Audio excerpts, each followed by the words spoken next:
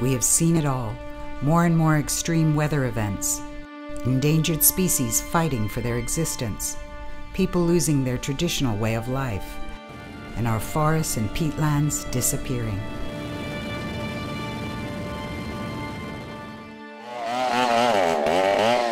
The UN estimates that since 1990, forests globally have decreased by 300 million hectares, an area larger than Argentina.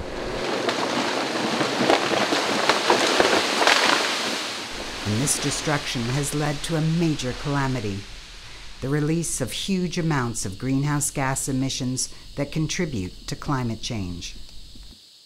With the third largest forested area in the world, Indonesia's forests and agriculture are believed to account for the majority of its greenhouse gas emissions. We are very vulnerable to climate change uh, given our geography.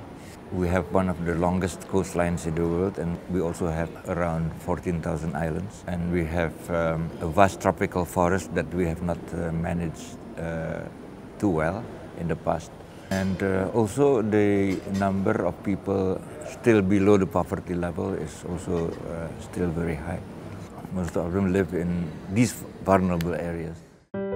Managing economic development while preserving the environment presents a major challenge in a country where millions of people rely on the land for their livelihood. Despite this, Indonesia has pledged to cut emissions by 29% below business as usual levels by 2030, and if international assistance is provided, by up to 41%.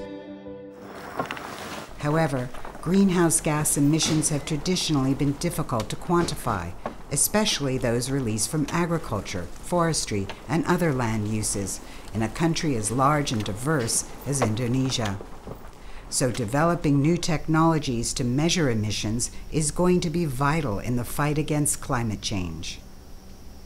The INCAS is being developed as a national platform for greenhouse gas accounting for the land sector. It will help Indonesia monitor its emissions so it can design, implement, and assess the effectiveness of policies and programs to reduce greenhouse gases.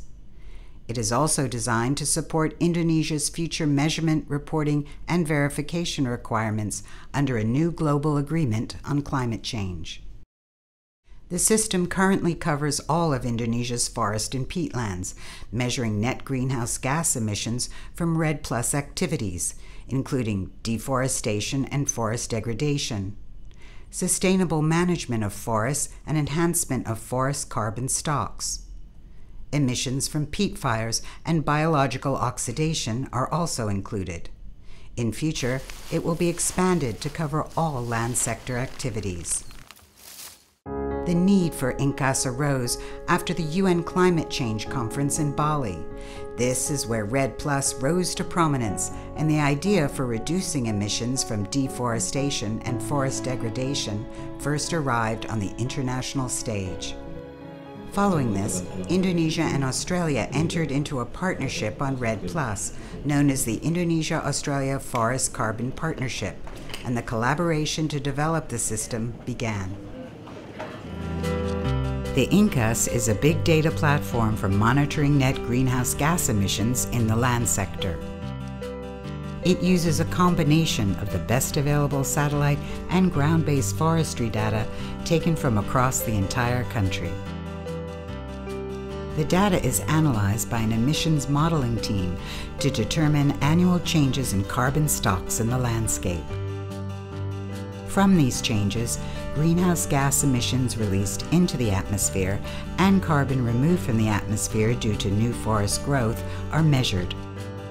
The difference between the two shows the total amount of greenhouse gas emitted by the land based sectors in Indonesia. These results are then sent to emissions reporting authorities. The information can then be used to meet international reporting requirements and support informed decision making on how best to reduce greenhouse gas emissions and more sustainably manage Indonesia's landscapes. Managed by the Ministry of the Environment and Forestry, the development phase is being led by the Research Development and Innovation Agency, FORDA.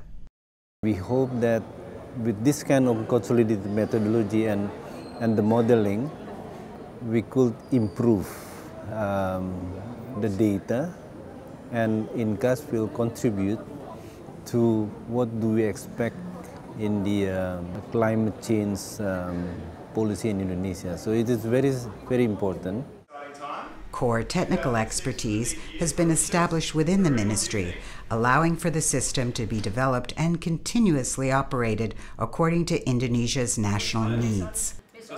We have been working on developing the, the INCAS for several years now, and at, at the beginning we just realized uh, we we just working on the uh, very limited uh, information and data we have, but uh, we realized that actually our our country, uh, Indonesia, already have uh, very rich of, of, data available in the country, but the data actually uh, available in different or various agencies, which is uh, make us uh, to work more on how this data can be gathered, can be compiled, uh, can be worked uh, together to produce a greenhouse gas emissions estimate.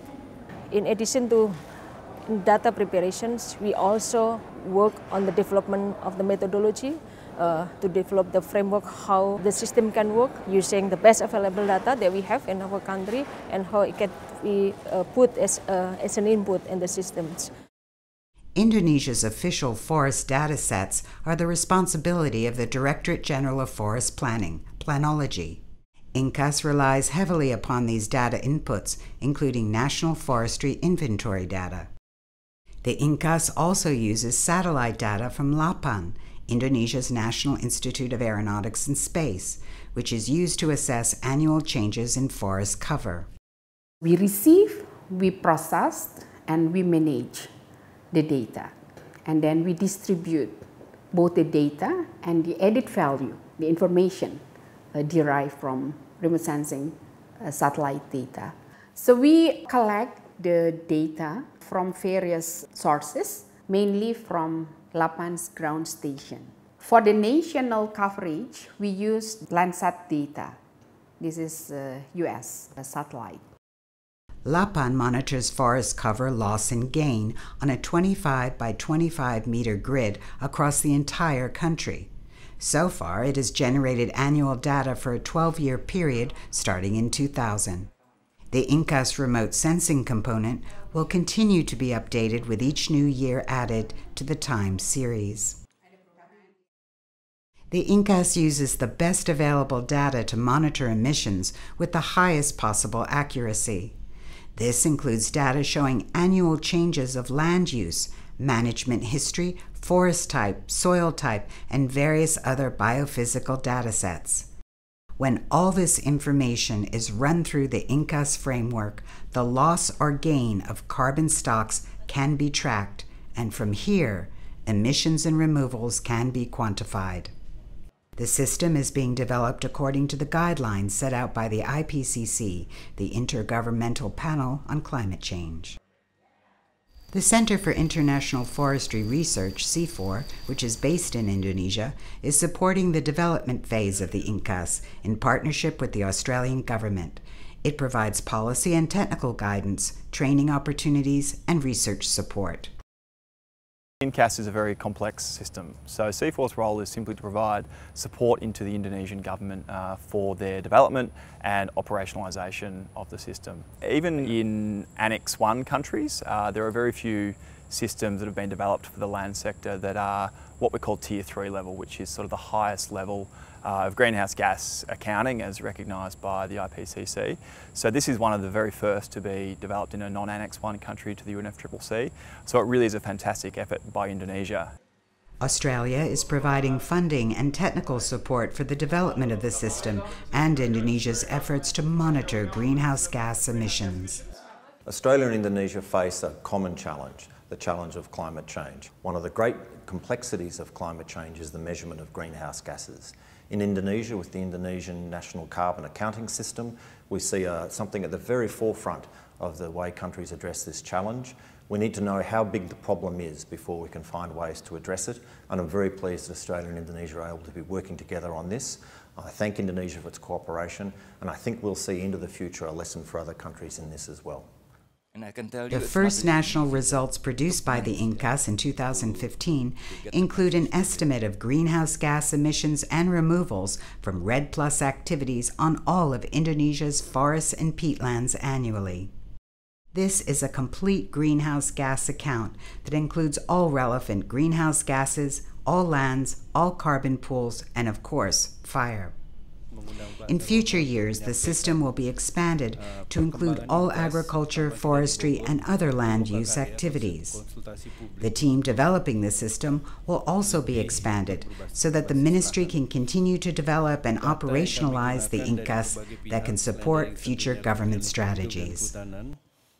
Before we launch the policy, we have a, a process that we could scrutinize in very detail and carefully before that policy. So we hope with this INCAS uh, will give uh, more confidence to the decision maker and we will support with that.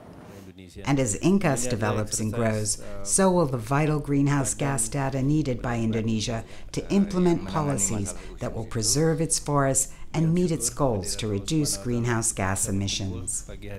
In the beginning, we just only how to develop method, a robust method to measure the emission and also the change of emission after we do something.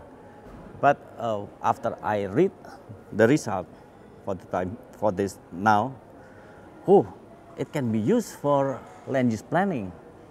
It can be used for uh, long-term forestry or landscape planning.